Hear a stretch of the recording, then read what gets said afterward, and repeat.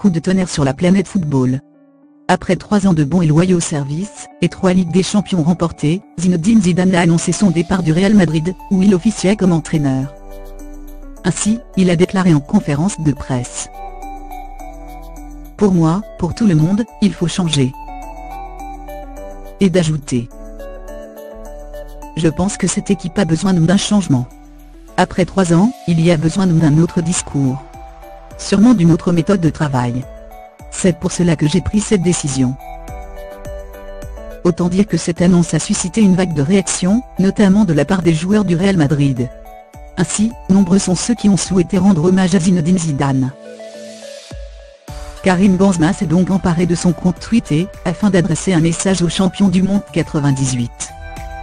Un message qui suscite aujourd'hui bien des interrogations.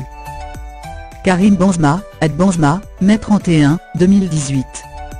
Visiblement proche de l'entraîneur français, Karim Benzema a intrigué les internautes avec son peut-être à bientôt.